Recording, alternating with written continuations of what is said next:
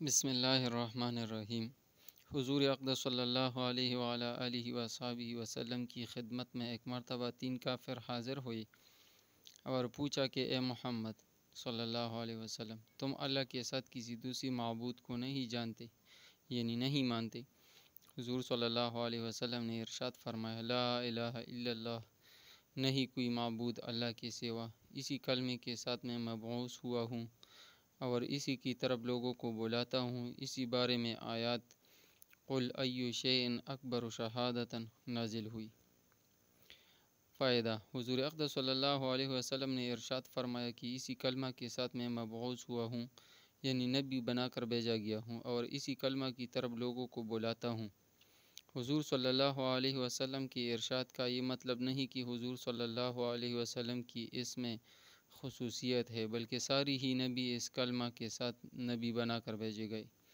اور سب ہی انبیاء نے اسی کلمہ کی طرف دعوت دی ہے۔ حضرت آدم علیہ صلاۃ وسلام سے لے کر ختم الانبیاء، فخر رسول صلی اللہ علیہ وسلم تک کوئی بھی نبی ایسا نہیں ہے جو اس مبارک کلمہ کی دعوت نہ دیتا ہوں کس قدر بابرکت اور محتم بشان کلمہ ہے کہ سارے انبیاء علیہم السلام اور سارے سچے مذاہب اسی پاک کلمہ کی طرف بلانے والے اور اسی کی شائع کرنے والے رہے۔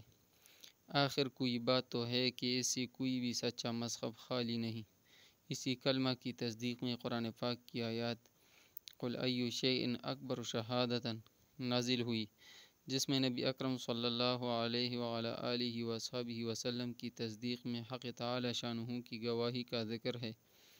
ایک حدیث میں وارد ہے کہ جب بندہ لا الہ الا اللہ کہتا ہے تو حق تعالی شانہ اس کی تصدیق فرماتے ہیں اور ارشاد فرماتے ہیں، میرے بندے نے سچ کہا ہے، میرے سوا کوئی معبود نہیں۔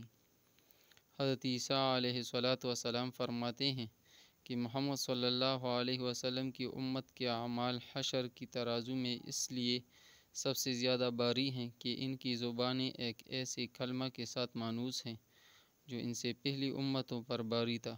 وہ کلمہ لا الہ الا اللہ ہے۔ فائدہ، یہ ایک کلی ہوئی بات ہے کہ امت محمدیہ صلی اللہ علیہ وسلم کے درمیان کلمہ طیبہ کا جتنا زور اور کثرت ہے، کسی امت میں بھی اتنی کثرت نہیں ہے۔ مشائق سلوک کی لاکھوں نہیں کروڑوں کی مقدار ہے اور پھر ہر شیخ کے کم و بیش سینکڑوں مرید اور تقریباً سب ہی کی یہاں کلمہ طیبہ کا ورد ہزاروں کی مقدار میں روزانہ کے معمولات میں داخل ہے۔ جامع الاصول میں لکھا ہے کہ لفظ اللہ کا ذکر ورد کے طور پر کم از کم پانچ ہزار کی مقدار ہے اور زیادہ کے لیے کوئی حد نہیں اور صوفیہ کے لیے کم از کم پچیس ہزار روزانہ۔ لا الہ الا اللہ کی مقدار کے متعلق لکھا ہے کہ کم از کم پانچ ہزار روزانہ ہو۔ یہ مقدار مشائق سلوک کی تجویز کے موافق کم و بیش ہوتی رہتی ہیں۔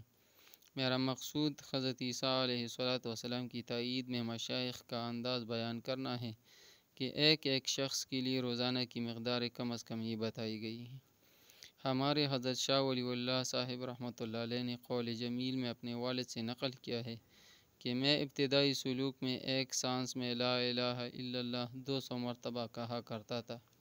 شیخ ابو یزید قرطبی رحمۃ اللہ علیہ فرماتے ہیں، میں نے یہ سنا کہ جو شخص ستر ہزار مرتبہ لا الہ الا اللہ پڑھے، اس کو دوزخ کی آگ سے نجات ملے۔ میں نے یہ خبر سن کر ایک نصاب یعنی ستر ہزار کی تعداد اپنی بیوی کے لیے بھی پڑھا اور کئی نصاب خود اپنی لیے پڑھ کر ذخیر آخرت بنایا۔ ہمارے پاس ایک نوجوان رہتا تھا جس کے متعلق یہ مشہور تھا کہ یہ صاحب کشف ہے۔ جنت دوزخ کا بھی ان کو کشف ہوتا ہے، مجھے اس کی صحت میں کچھ تردد تھا۔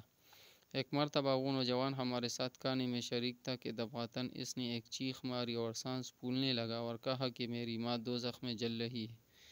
اس کی حالت مجھے نظر آئی۔ قرطبی رحمۃ اللہ علیہ کہتے ہیں کہ میں اس کی گھبراہٹ دیکھ رہا تھا، مجھے خیال آیا کہ ایک نصاب اس کی ماں کو بخش دوں جس سے اس کی سچائی کا بھی مجھے تجربہ ہو جائے گا۔ چنانچہ میں نے ایک نصاب ستر ہزار کا ان نصابوں میں سے جو اپنے لیے پڑے تھے، اس کی ماں کو بخش دیا۔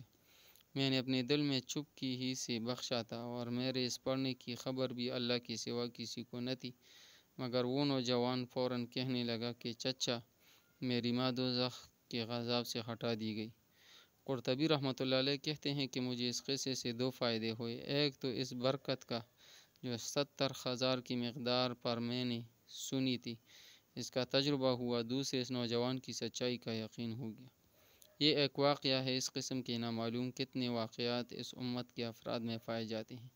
صوفیہ کی اصطلاح میں ایک معمولی چیز فاس انفاس ہے یعنی اس کی مشق کی کوئی سانس اللہ کے ذکر کے بغیر نہ اندر جائے نہ باہر آئے امت محمدیہ کے کروڑوں افراد ایسے ہیں جن کو اس کی مشق حاصل ہے۔ تو پھر کیا تردد ہے حضرت عیسیٰ علیہ الصلاۃ والسلام کے اس ارشاد میں کہ ان کی زبان اس کلمہ لا الہ الا اللہ کی ساتھ مانوس اور منقاد ہو گئی ہے۔ اللہ تعالی ہمیں بھی کلمہ طیبہ کی ورد ادا کرنے کی توفیق عطا فرمائے۔ آمین یا رب العالمین۔